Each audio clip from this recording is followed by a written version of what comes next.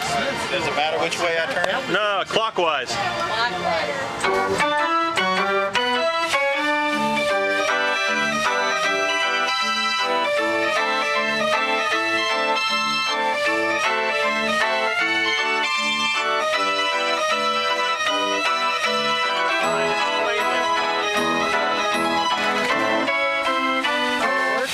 I mean, there's